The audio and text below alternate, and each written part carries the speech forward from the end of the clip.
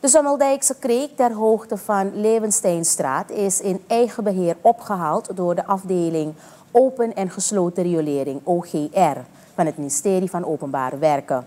Daarnaast heeft deze afdeling aan de Kristalstraat en de commissaris Turkoweg eveneens werkzaamheden uitgevoerd. Verder heeft OGR ook de lozingen van het Surrey Village opgehaald. Hart- en vaatziekten vormen wereldwijd een van de voornaamste oorzaken van overlijden. In Suriname wordt maar liefst 78% van de sterfgevallen toegeschreven aan niet overdraagbare aandoeningen, waarbij hart- en vaatziekten het vaakst voorkomen.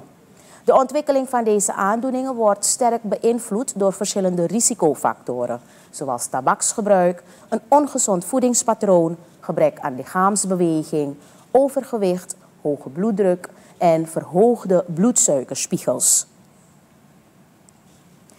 De Pan American Health Organization, PAHO, biedt essentiële ondersteuning aan het ministerie van Volksgezondheid met een focus op het malaria-programma. In 2023 heeft deze ondersteuning geresulteerd in de aanschaf van 47 tablets die zijn ingezet voor de landelijke implementatie van de DHIS-2. Dit systeem, een softwareplatform voor real-time rapportage van malariagevallen, is na een geslaagde pilotfase in 2019 nu klaar voor landelijke uitrol. Het ministerie van Volksgezondheid heeft onlangs deze tablets ontvangen van PAHO, waarmee het malaria-programma in 2024 zal beginnen middels training van personeel op verschillende testlocaties in het gebruik van de DHIS-2-applicatie.